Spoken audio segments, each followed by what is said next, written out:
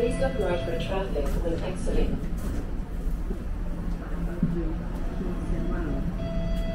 Victoria Park. Be Queen. Please wear a mask or face covering when riding the TTC.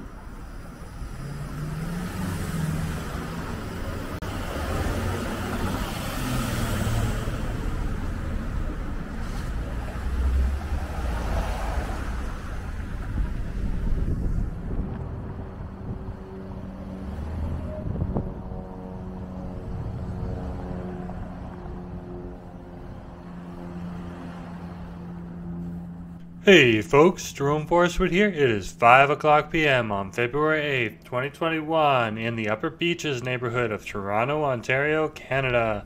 It is minus 7 with a wind chill of minus 14 on a sunny evening on the east side of the city.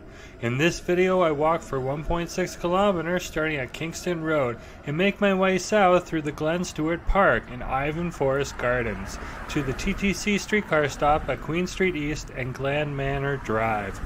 At the time of this recording, Toronto is in the lockdown due to the COVID 19 pandemic, so outdoor exercise such as going for a walk, shopping local through curbside pickup, and ordering takeout from neighborhood restaurants was both permitted and encouraged. If you enjoyed this video, please smash that like button, share it, and subscribe.